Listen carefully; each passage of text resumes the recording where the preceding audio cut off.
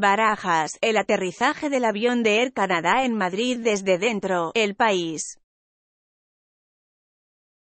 El avión de Air Canada con problemas en una de las ruedas y en uno de los motores ha aterrizado con éxito esta tarde en el aeropuerto de Barajas tras casi cinco horas dando vueltas por el sur de Madrid.